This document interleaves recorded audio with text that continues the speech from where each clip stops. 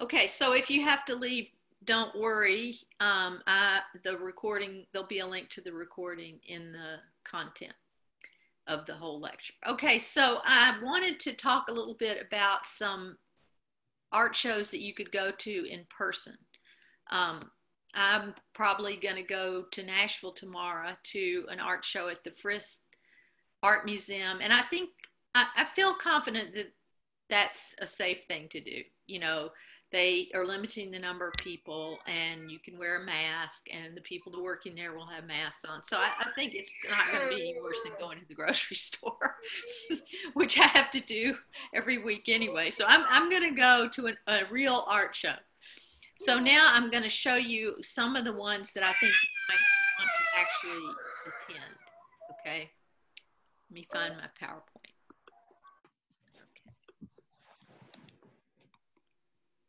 Okay. All right. So there's there's two uh, shows that I um, think you might really are going to be really cool. Okay. So one of them is at Cheekwood. Um, it's we talked about Dale Chihuly, who's a glass artist in the first lecture. Um, and Dale Chihuly's going to have a big outdoor show at Cheekwood in Nashville. Um, and it i don't think the tickets are on sale yet but they will be soon. I think it opens pretty soon. And as you can see this is incredibly cool. And i think it would be especially fun to go late in the afternoon. There's a it, it stays open after dark thursday through sunday i think. So if you get a weekend ticket for the evening then you can see the way they light these glass sculptures at night, which is going to be really, really fun, I think. They had Chihuly 10 years ago, and I saw it in the daytime, but I kind of wish I'd gone at night. And that's what I'm going to do this time. But it's new works that I haven't seen before. This is from 2010. Well, 2010, that's when the last time they had the show. Okay, so, but closer by, there's a really interesting show at the uh, Appalachian Center for Craft. Um, and this is a surface design show. It's a, fiber art show like quilting, dyeing, um, clothes, and obviously quilts and wall hangings that we see here in this slide. It's a, oops, my internet connect, connection is unstable. Sorry. Um, sometimes if I move into my closer to the modem, that helps. All right, so this is student work. Um, that means students who are studying textile art in um, their college, which you can do at the Appalachian Center for Craft. Um, and uh, so I think, you know, if you're interested in uh, clothing design or quilting, something like that, this might be a really cool show for you to visit and the Appalachian Center for Craft is not far away. It's um, about 45 minutes or less from here on the way to Smithville. It's right on Center Hill Lake. So there's a link in your um, con- in your e-learn course to the Appalachian Center for Craft and the Frist Museum, except if I have to add those links if you're in 052. So I'll do that today. But the other um, sections 053 and 056 already have links to the Frist Museum, Cheekwood, Appalachian Center for Craft, and so on. So you can get directions to those venues. And also, it seems that the Derryberry Gallery on the Tech campus is also going to uh, gonna have some an exhibit this fall, so that's good. I wasn't sure if they were actually going to do that. okay, so today, sometimes it's hard to. All right, so today the lecture is about chapter three, the elements of art. So the elements of art are um, sort of like the alphabet of art. Like when you learn to read, you learn the letters. When you learn math, you learn about numbers. If you can read music, you learned about the staff and quarter notes, half notes, etc. So artists work with sort of a different vocabulary, and that is these eight elements of art line, shape, mass, space, light, color, texture, time, and motion. So we're going to go through all those things, and this is going to help you a lot when you get to when you start writing your paper, for example, um, your exhibition paper, because it'll help you analyze the works of art that you see in an art exhibit. You can see how line, shape, mass, space, light, all those things, how they work in the art that you're looking at. Okay, so first we're going to talk about line. Okay, so obviously when you draw with a pencil or a crayon or whatever, you uh, you're drawing with you know you're you might make a line, for example. Um, and I think the reason I like to show this slide is that it, it points out that it's not, lines are important not just to people who draw or paint, but to visual art generally, like photographers. Okay, so uh, Lee Friedlander was hanging out one day in Bismarck, North Dakota, in a fairly nondescript place. It sort of looks like that area behind the uh, arcade building in, in Cookeville, a place that nobody would describe as beautiful or remarkable in any way. But because Lee Friedlander has an eye for lines, he was like, oh my God, look at all these lines. look how many different kinds of lines there are. So in an in-person class, we would spend maybe five or 10 minutes sort of analyzing this photograph in terms of lines. Um, if you want to unmute yourself and talk about what lines you see here, what kind of lines you see, that would be great. So does anybody have an observation about that?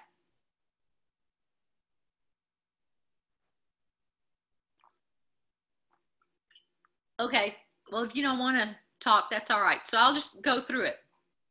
So you obviously the power lines, they're lines, we call them lines, are lines. The um, poles that hold up the power lines, the the I don't know what these things are, sort of supports for power lines. Shadows count as lines. These cracks, these broken lines in the concrete of the parking lot count as lines. And something you may not usually think of as a line, but is a line, is the edge of something. And in this, uh, oh man, I'm going to have to go back another room again. I can't really see my notes when I'm sitting at this other desk, but that's okay. All right, so um, you may not normally think of the edge of something as a line, but it is. And in this case, it just so happens that the edge of this building is sort of outlined in black by the gutters and the trim and so on, but also just the edge of this dumpster is a line. This little piece here on the, the even these um, guardrails are lines. So in visual art, a line is pretty, it can be a lot of things. It's basically anything that's longer than it is wide. So, you know, if it's a guardrail and it's long, but it's not as wide as it is long, hey, it counts as a line. So it's not like math where, you know, a line is a, a, dis, a thing that starts, a, an arrow that starts at one point and goes to another point. It's, it's much more flexible than that. Okay, so there, your book has this little um, graphic that illustrates the different kinds of lines, like the line created by an edge, um, an implied line, jagged lines, ragged lines. So, you know, kind of look that over in your book just to expand your idea of what a line is.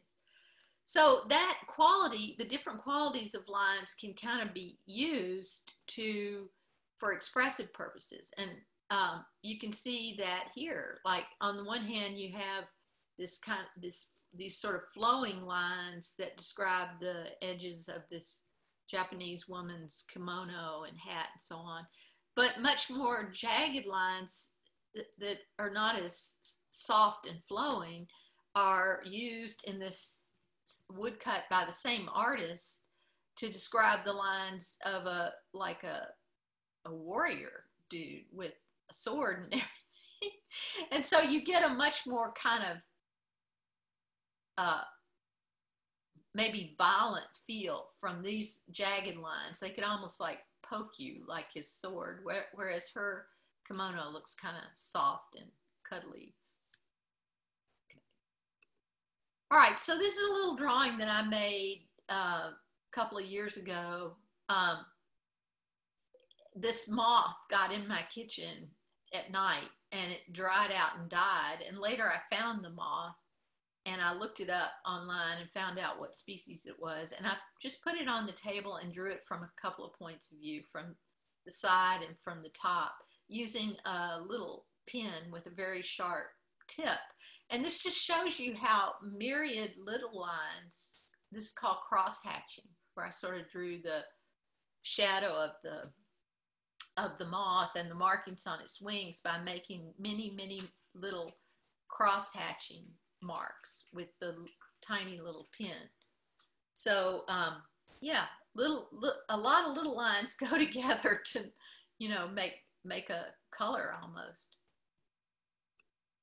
Okay, so Gego is an artist who actually used lines in three dimensions, which you normally don't think of lines as working that way. You think of them as working in two dimensions, like on a piece of paper or something. But she was uh, clever enough to realize that wire is a kind of line, which it is. I mean, if you play around with, you know, fine gauge wire, you can make all kinds of things in three dimensions and in, in three dimensional space with with a wire. So she would connect wires with little hubs. I don't know exactly what she used for hubs, but I've seen some of her work in museums, and you can actually kind of walk around in this network of lines which is really cool, sort of expanded version of possibility lines. Okay, so now we're going to talk about implied lines, which is one of the types of lines that your textbook talked about. So in this painting, there's there's a line in the face of the green man. Why the man is green, I don't know. And it sort of breaks down in his nose and then starts up again, sort of between his nose and the goat. And then it, this fuzzy line here sort of continues the implied line around here, and then the implied line sort of breaks down again. So why is there this implied line? I, I think it's to create a connection between humans and animals because the title is I and the Village. That is, you know, myself and my shtetl in Eastern Europe where Marc Chagall grew up. He's people and animals were connected. So you can see a little vignette of a person milking a goat here. You probably, if you've ever looked at a goat, you know their eyes don't look anything like that. They have really freaky eyes with these long pupils that are like a sort of a slit or something. But it makes the goat look more human, like he's. And there's uh, there's actually I just noticed this for the first time. There's like a line going from the man's eye to the goat's eye, like kind of like they're best friends or something. I mean, goats can be sweet, sure. Okay, so now we're going to talk about shapes. So obviously, if you're drawing a line, la, la, la, and you come back to the beginning and you connect it to the beginning of the line, voila, you have a shape. Now, this is not from a famous artist. So it's an anonymous student painting, actually, um, that I looked at in a book about watercolor. So um, but what what I think it, this is a really cool painting because this student took a complicated setup that is you know a sofa with a messy sofa with a bunch of pillows and throws and some kind of a plant maybe and a dresser with something on it i don't know what and kind of simplified it so that she could paint it. And she simplified it by making the by simplifying say the plant into sort of basic shapes. And that's that's what we do when we draw. We can't draw everything that's there we sort of have to simplify things and one of the best ways to do that is by looking at the shapes okay so here's a painting that was in a show in new york about a year ago the show was actually all about shapes which is which was great because thinking about shapes has helped my painting and drawing a lot. I never thought about it until I did an exercise for a class where I had to sim- make a painting mainly based on shapes.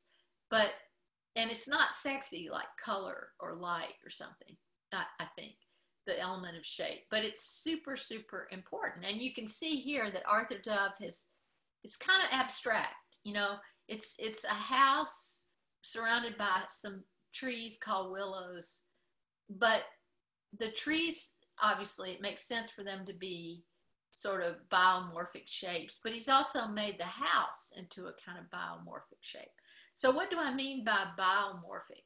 So there's basically two kinds of shapes um, in art, geometric art, uh, geometric shapes like a square or a circle that don't really occur in nature. They only occur in man-made objects like, oh, say, maybe a spinning wheel.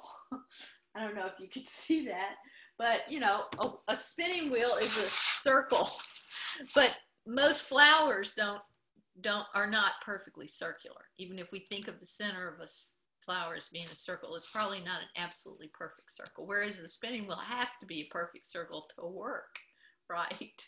It works like a bicycle wheel. So those are geometric shapes, circles, squares, rectangles, triangles, so on. But most shapes in nature, like the shape of a leaf or a rock or a wing or something like that, is, is organic shapes um, or biomorphic, that is in the shape of life. And they're not as regular as organic shapes. Okay, so I put this in here because the curator of that show, um, Amy Stillman, wrote this in the show. So as a painter, I've always had an eye for shape. Shapes define, shape defines every outline, mass, and negative space. Um, and then to skip down a little bit, we don't talk about it much. It's not a hot topic in art like uh, color. I wonder if, in fact, shape got left behind when modern art turned to systems, series, grids, and all things calculable. Was shape too personal, too subjective? And I think she's got something, she's onto something there. There is a sort of neglect of the idea of space, of shape, I mean.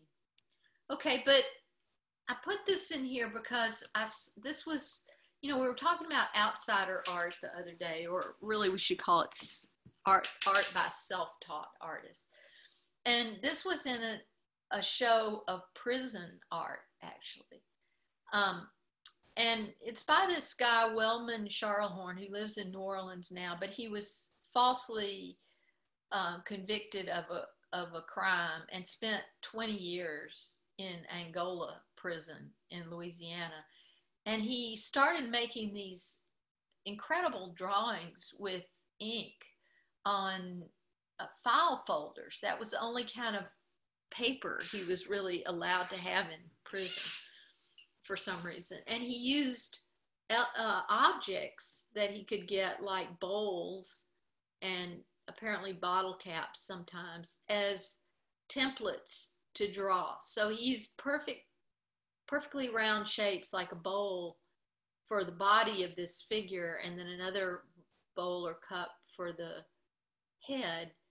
And he just traced around the edge of these things and made these very intricate and sort of surrealistic drawings. He was later released when he was found to be actually innocent. So sort of a happy ending, but he spent a very long time in prison.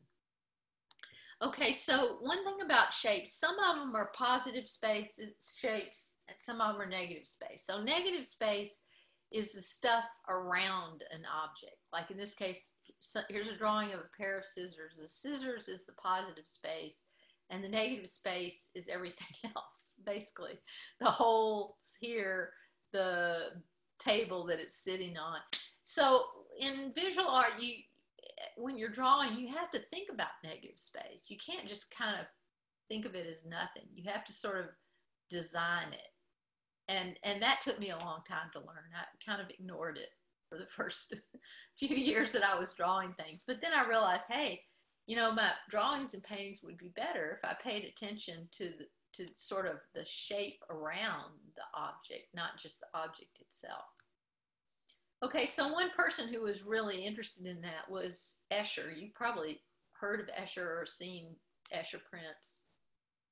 So in this case, he played around a lot with positive space and negative space, or you can call it figure and ground. So just looking at this, in the at the bottom, the figure or the positive space is obviously a fish. And the negative space is, I guess, the water the fish is swimming in. And that's true until you get about to this row. And then the negative space or the ground starts looking kind of like a bird. It has a very specific shape. It's not just a kind of vague space. And then it turns into a bird. And then the fish starts to sort of disappear. And pretty soon it's all about this um, bird, this water bird, like a duck or a goose or something. And the fish, which was formerly the, the positive space, has become the negative space and just kind of disappeared. So that, that's an interesting thing to think about, I think. Okay, so when we're talking about work in three dimensions, like sculpture, we're, we talk about mass, not shape. Shape is two dimensional. It's when you're drawing on a piece of paper like Charles, Horn. But if you're Botero and you're making a sculpture in three dimensions, we talk about mass, M-A-S-S. So, and this horse is massive. But even if he wasn't, it would still be a mass. Like my arm is a mass. Anything that exists in three dimensions, or here's a telephone, that's a mass. Okay, so it exists in three dimensions. But what do we call the space then, the empty space in sculpture? We call those voids, V O I D. Now, all these terms that I'm using that you might not be familiar with are on a are in the content in a list of terms for chapter three. And I'm going to make one of those for each lecture since I don't have a whiteboard. Well, I could just write. Maybe I could put one here, but you might have trouble kind of reading it from a, in in this little tiny thumbnail image. So so I made this list of terms that you can download before the lecture, and you'll have all these terms in front of you. Um, because sometimes I can't see the chat for example, the chat has gone away now and I can't make it come back. All right, so the holes in the, oh wait, I see the chat, yay. All right, so I'm gonna write the word void here. Okay, so these holes are voids in this Henry Moore sculpture. So this sculpture was on the campus where I went to college. And, the, and since it was outside, this is kind of a weird rule, but if sculpture is outside, you're allowed to touch it. if it's if it's inside a museum, no. But if it's outside, not only can people touch this, but they sat in it. So there was always somebody sitting in this void, reading or something, or just hanging out. Um, and the voids are a very important part of this sculpture, I feel like. Okay, so, but what, again, what if you're working in two dimensions like you're drawing or printmaking in this case? This is a lino cut and you want to show the three dimensionality of a mass, like somebody's head, in this case, a, child's head. What do you do? Well, you use something called modeling. And again, I'll write this in the chat. So modeling is just when you use lines to create light and dark areas on uh, something. Let me see if turning the light on here was an idea. Nope, but if I turn this light. Okay, so now, because I turned a light on, sort of, part of, well, it's not really working. Let's just look at the, the slide. So the artist has conceived of this thing as like a, a little girl, you know, eating a piece of bread and light is sort of falling on her face from her left and lighting up some highlights on her cheeks and her hair. And then there's these dark areas um, behind her hands and under her chin and on the right side of her face. And so that, that kind of gives you a sense of the mass of her body. That is, her body exists in three dimensions here, even though it's represented in two dimensions. So mass can be represented in two dimensions in drawing or whatever. Okay, so now the, a related sort of thing is space. So now we're going on to the idea of space.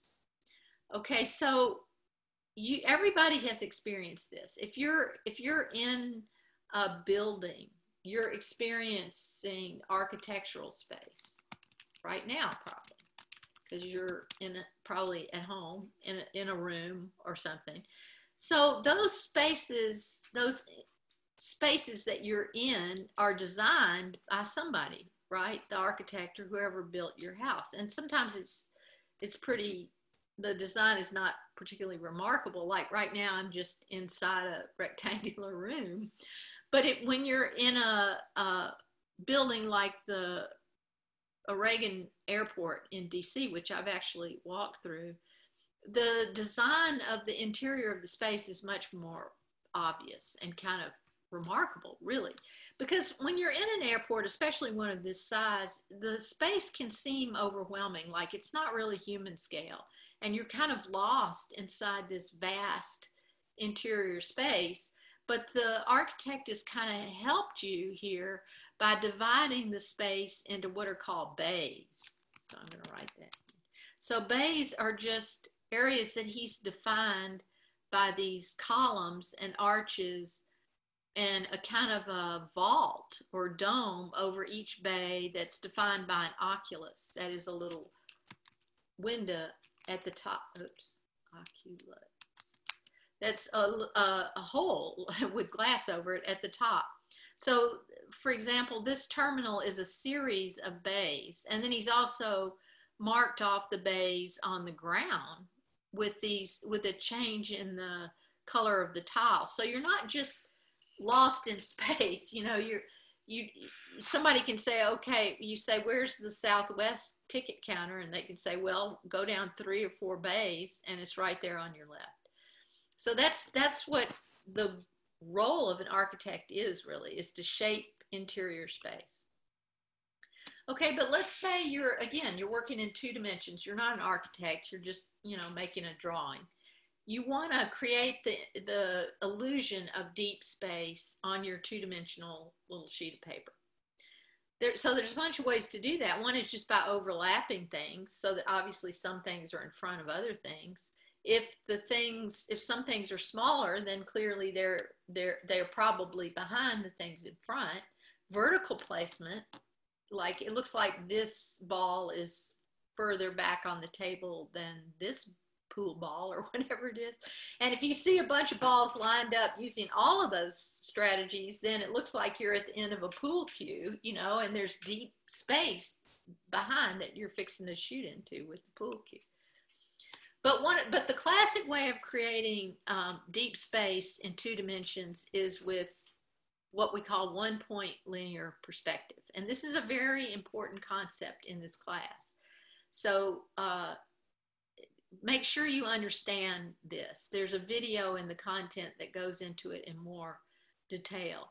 But it, for the weird thing is that for most, for a long time, nobody really knew about one point linear perspective or used it, but around 1400 or so in Italy, a guy named Brunelleschi, whose name I'll put down here in the chat if I can get there. Brunelleschi was an architect mainly. But he discovered that if you create, if you draw a horizon line, and this is the horizon, this isn't a Brunelleschi drawing, there were no trains in Brunelleschi's time. But okay, you draw a horizon line. The horizon is where the sky meets the ground. And then you draw what's called a vanishing point, which is where, in this case, the railroad meets the horizon. Now, if you're actually on a railroad track and you're walking towards the horizon, it's never gonna the tracks are never to converge to a point, right? But there's a sort of visual illusion that they do. And there's also a visual illusion that overhead power lines or fence lines, if they're parallel to these tracks, that they're, they'll all converge at the vanishing point. And this trick is what enables, say, video game animators, people who draw the backgrounds and for video games, this is how they make it look real.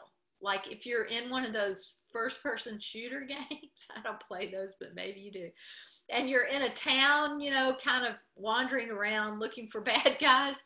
Every time you turn, the computer, the software recreates one point linear perspective so that it looks like it's deep space. And this this was like a revolutionary tool for artists in the Renaissance that we'll we'll get into more when we get to the Renaissance because they were so excited by this. It just made everything look so much more real. So Raphael obviously mastered this. Everybody had to master it. It, it was a sort of requirement for becoming an artist in the Renaissance. So if you look at this, this is a totally imaginary scene. And that's the great thing about one point linear perspective. You can just create out of your own head a scene that looks pretty real, like in a video game. Oh, my connection's unstable, even though I'm like two inches from the modem. Anyway, that's what Raphael did. He created this Italian Renaissance or Roman interior, and then he populated it with the ancient Greeks. So that's impossible, right? All these guys were dead by the time this sort of architecture came along. But that that's no problem. Raphael created this imaginary space and he put these, well, kind of like paper dolls. If you took them all away, there would just be this space. But then he he put his paper dolls back in the painting. So we'll look at it. Okay. So how do you know where the vanishing point is? The vanishing point, you look for what are called the orthogonals.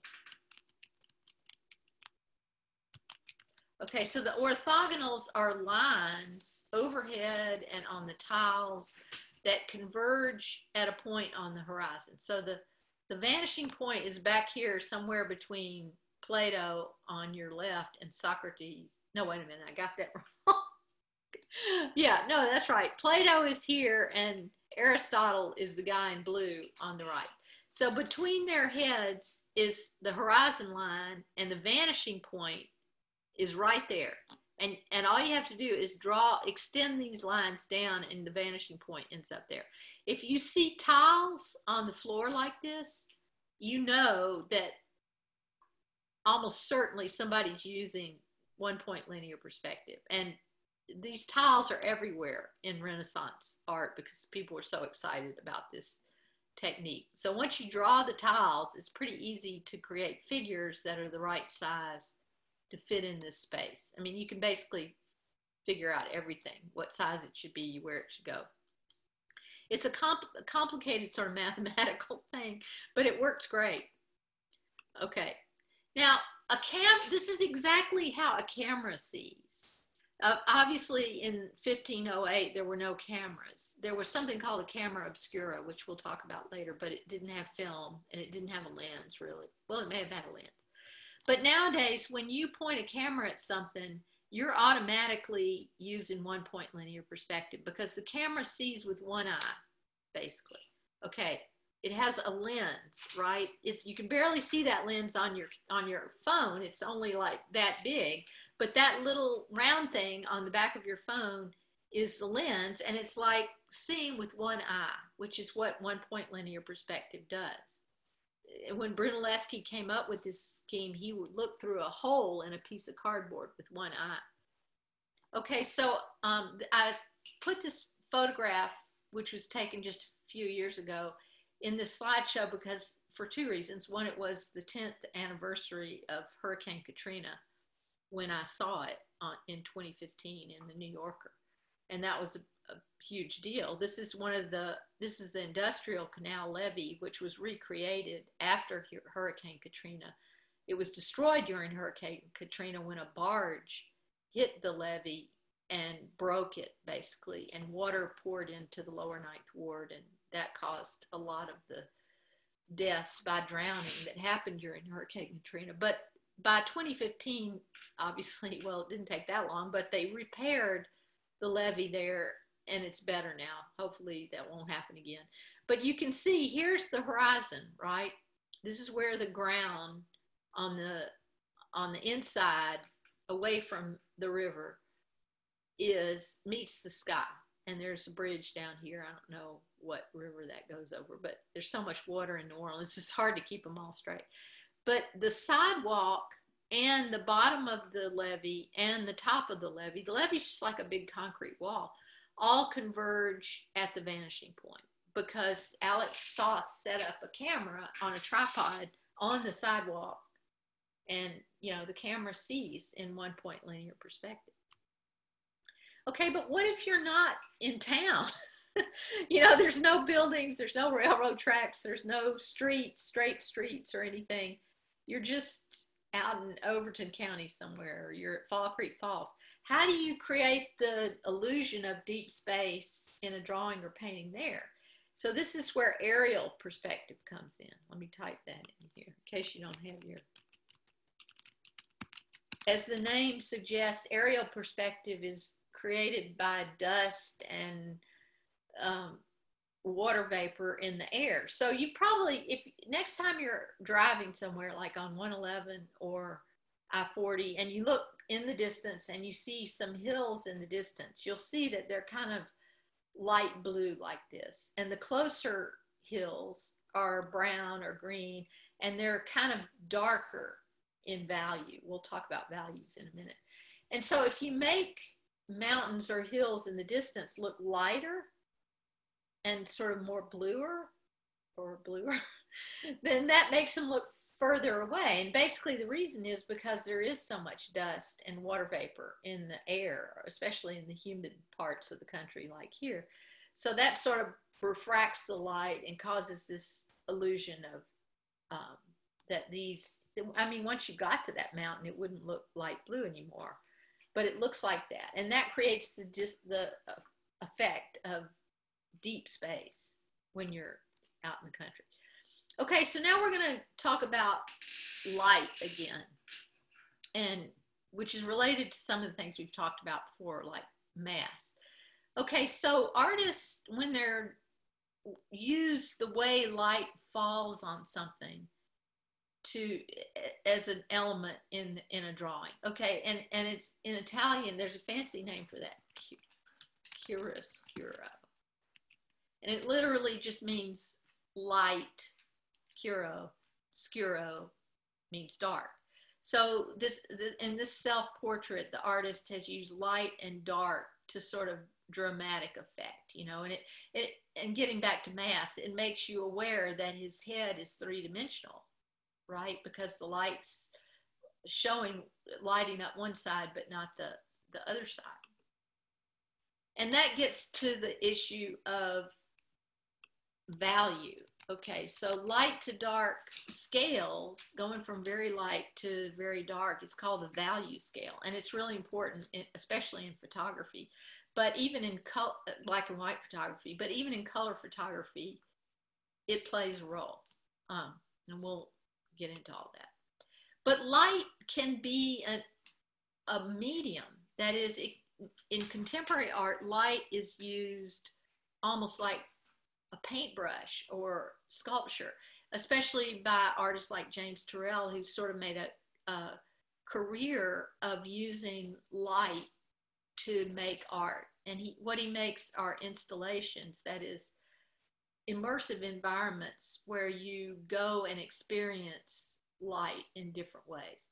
So at Roden Crater, which he's been working on for like 20 years, and I think it's finally open, you can go into these rooms that have an oculus. Here's the oculus again. There's no glass in the oculus at Roden Crater. When it rains or snows, moisture just comes in this space and drains away. And actually, I went in one like this in Dallas. The the the the one in Dallas was closed recently, but I got to go in it before it was closed, and it's like a round room with this these seats that are really comfortable. They don't look comfortable, but they are partly because they're heated.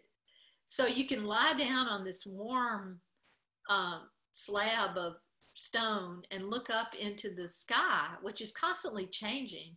And then the, the light from the sky projects this circle of light into the room that moves around the room depending on the time of day. And magically, while I was there, this was so awesome, it started snowing. it never snows in Dallas. But that day it snowed a little bit and snow came in and, and sort of melted in that little room. So it was a wonderful experience. And someday I hope I get to go to Roden Crater, which is out west. Okay, but Turrell has also created uh, works of art that use light as a medium, artificial light, in this case, fluorescent light. There's other artists who use fluorescent lighting to make sculpture and installation. This was at the Museum of Fine Arts, Houston. It was a tunnel that connected the two buildings. The Museum of Fine Arts had two buildings, but there was a really busy street between the two buildings. And so they built this tunnel so that visitors could, instead of crossing the street, could go underground to the other building. And this tunnel has these this colored light that changes colors while you're in there.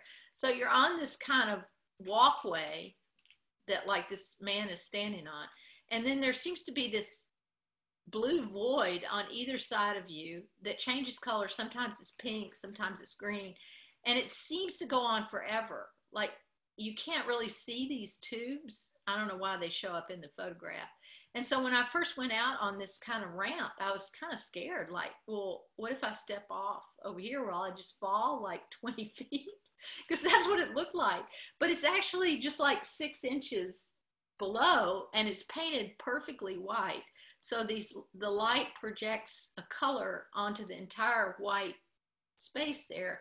And it just looks like you're in the middle of this kind of white or kind of blue or green or pink void. It's it's really magical. Okay, so now we're this is the sexiest element, I think, color. Everybody artists love to talk about color. The other things are important too, but for some reason color gets all the attention. I don't know why. And this is this is what's called the the color wheel. Um, and this it's the color wheel is relevant to artists but i'm going to tell you something uh, there's sort of a caveat about it in a minute but let's just focus on painters and the color wheel for a minute.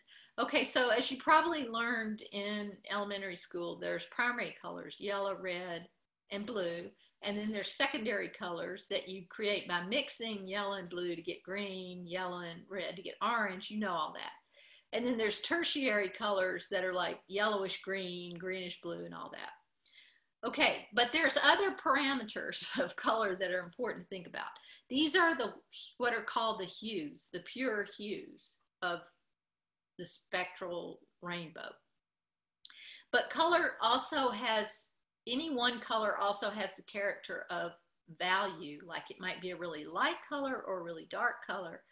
It also has saturation differences. And that took me forever to understand, but I'm going to talk about it in, in a minute. So a pure hue is very saturated. Like this yellow here is extremely saturated. But if you mix it with the color that's opposite yellow on the color wheel, which in this case is violet, which is another pure hue, you start to get less saturated colors. So and most colors in nature are kind of slightly less saturated. There's very few pure hues like this. Those are kind of artificial, like, you know, plants, flowers, bird wings, usually in this range right here.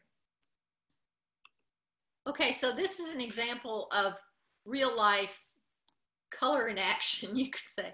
All right, so you probably have seen all the goldenrods blooming around the place, like maybe around your house. So I picked some of those goldenrods and I made a, a tea by boiling them for like two hours. And then I dyed these skeins of yarn with them. But I got different results based on different temperatures of water. Like when the water was really hot, the yarn soaked up the tannins, that is the brown colors in the dye bath. And so this one on the right is less saturated because it's kind of browner. This one also less saturated. These are more close to the pure hues because I've waited until the, the dye pot cooled down to like 160 to put those in there. But this difference of saturation is also reflected in value.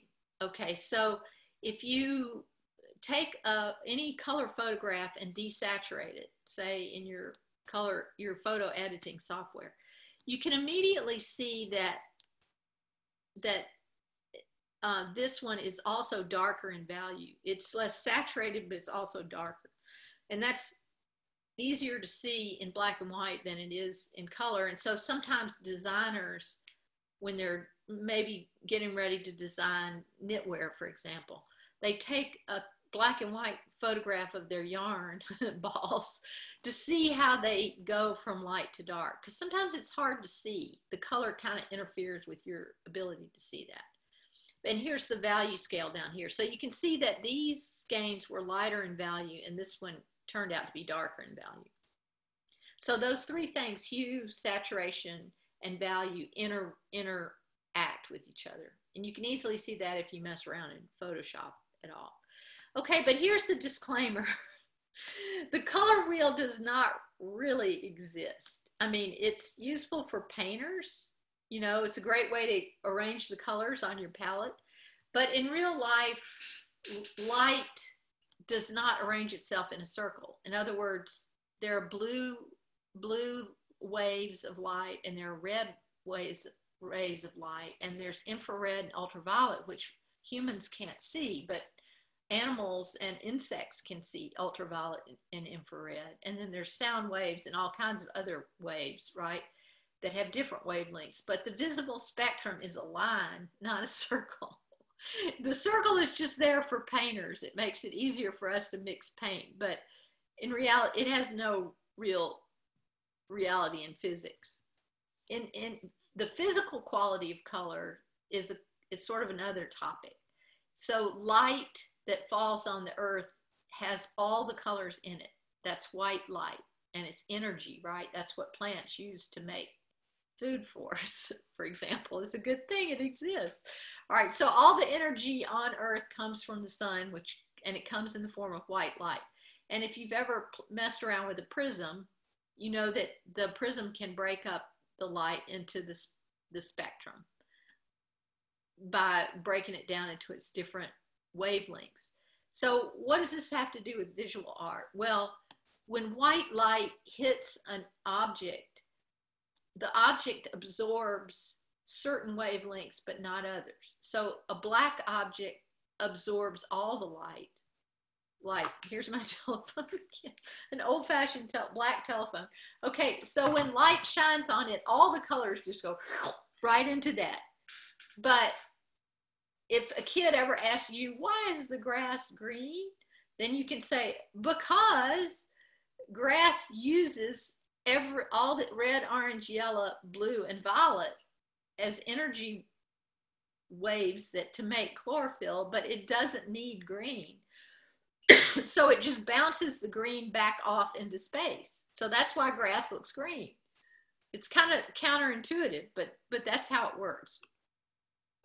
Okay, so but getting back to visual artists, there are color schemes. So when you are planning an artwork, it's a good idea to have a color scheme. I don't always do this, but so that some a color scheme could be monochromatic, that is just shades of gray and white.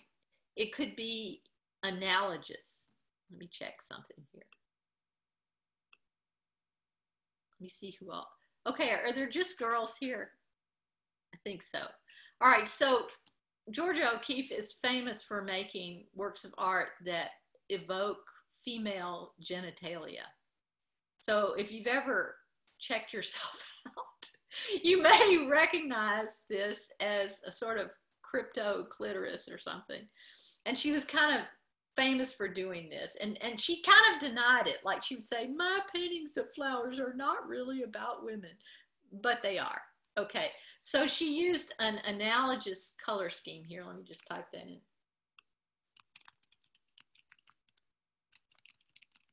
So an analogous color scheme is where the colors that are used are on the same side of the color wheel, basically, like blue, green, and you know, yellow is kind of next to green. So that's that's one way to do it, one way to organize your painting. But Van Gogh was really into these complementary color scheme. So a complementary, I'm gonna type that in. is when you take colors that are on the opposite of the color wheel, like the opposite of this blue, beautiful, amazing blue color on the color wheel is this kind of gold color. So that's what gives this painting its amazing kind of punch is the contrast of these, these colors. Okay, so now we're moving on to another element of art, texture. So this is a really famous piece, and we're going to get back to it later in the course. It's fondly known by Vol State students as the furry teacup, but it was actually just called Object. And later, another guy, not Meret Oppenheim, called it Breakfast in Fur. But we'll we'll get into all that. Okay, so you can see it, this is real. It's not it's not a photograph. It's like a real object in a real museum. It's a teacup that Meret Oppenheim covered in fur and, and a spoon. And you can see that what's so disturbing about this teacup or this object is that you the texture is off-putting, right? You don't ever want to drink out of a teacup that's furry. It's just disturbing. So the, the texture of the fur is everything for this work of art. It's, it's super important. It gets all its power from that. But even a painting can have texture. Like you would think, oh, well, if it's a two dimensional object, you can't, you know, it's not going to have any texture. But Van Gogh put paint on so thick, like with a knife, or, and I've done this with my fingers actually. I don't have that painting anymore because I sold it on Etsy actually. Um, but I painted one time. Well, you're supposed to wear gloves when you paint with your fingers. I made a painting of a zinnia, and and so the paint was really thick, and it and it dried like maybe I don't know an eighth of an inch thick off the palette, so off the canvas. So if you go to an art show and you see a Van Gogh or some other artist that use really thick paint, like toothpaste thick, it's called impasto, just like paste. You can, you really, when you go up to these paintings, you you feel your finger wants to touch them sort of verify that you know it really is but of course you can't you're not allowed. Some of them even have glass over them to keep you from doing that. But you can see it you can see the the thickness of the paint. So that's a kind of texture. It's not like you can't have texture if you're a painter.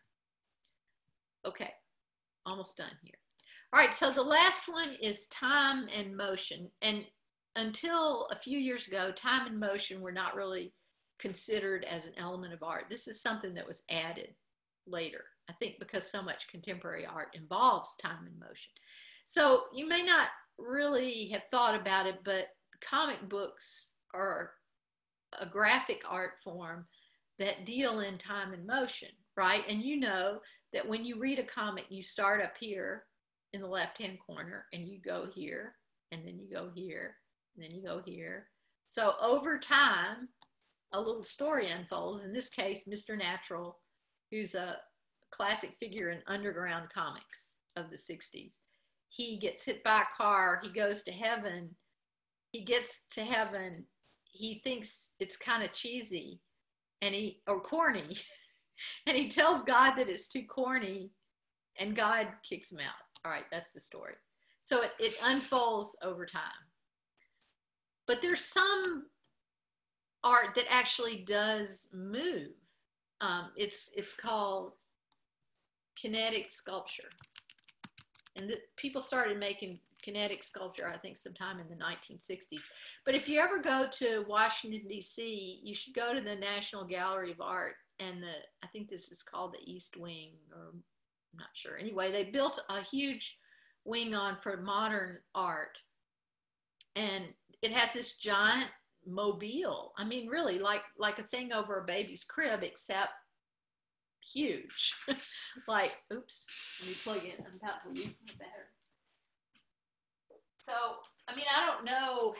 I can't give you the exact dimensions of this thing, but it's gigantic and it sort of slowly moves. You know, the air in the building is circulating and it moves these shapes around. It's really mesmerizing to stand up on this balcony here and just watch this thing kind of slowly move because of the air. So Calder, Alexander Calder was sort of the person who put um, mobiles on the map as an art form, not just as a decoration over a crib. so go see that if you can. All right, so, and then another art form that maybe you haven't thought of as art before, but it is, is film. And, you know, it's hard for us to put ourselves back in time to our great grandparents. Well, in your case, great grandparents, or even more. Film came along in the t- early 20th century when my grandparents were kids. And the fact that pictures could move just blew their minds. And it was called moving pictures which was later shortened to movies. So I'm gonna do a screen share here that I hope will work. Let me try um, a different a different thing. I'm gonna show you a, a, a clip from an early film called The Great Train Robbery. And something happens at the end of the Great Train Robbery that pretty much knocked the socks off of everybody who saw it. So just the fact that people were moving around was a huge deal. This is like a, a Western where there's some bad guys who rob a bank and then some cops who come and get them. And this is the thing that blew everybody's mind. This bad guy shoots directly at the audience. He breaks the fourth wall. So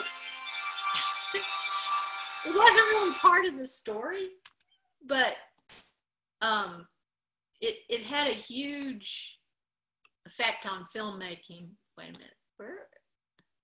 Stop share. Okay. And uh, uh, James Bond movies have this kind of there's a lot of homage to that movie and other movies, including Breaking Bad, which is too scary for me. But apparently, there was a Breaking Bad episode where a guy points a gun right at the viewer. Again, breaks the fourth wall that you know between the viewer and the movie and shoots it. So yeah, that that was that was something amazing to my grandparents that pictures could move, and that's what films deal in. Okay, so that's the end of the lecture. Now, um, are there any questions about the lecture before we go into questions about the class in general? Okay, I'm going to stop recording then.